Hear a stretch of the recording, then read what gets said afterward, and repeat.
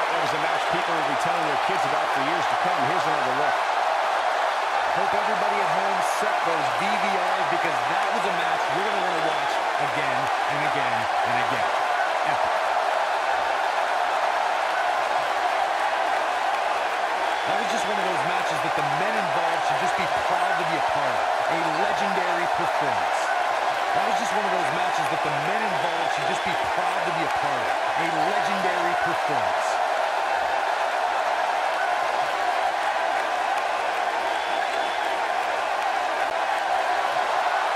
Here is your winner, Kane! Good win despite absorbing a huge amount of punishment there. That was simply a case of one guy determined to prove his dominance over another. There's no topping that man event, ladies and gentlemen. Thank you so much for spending your evening with us. Have a great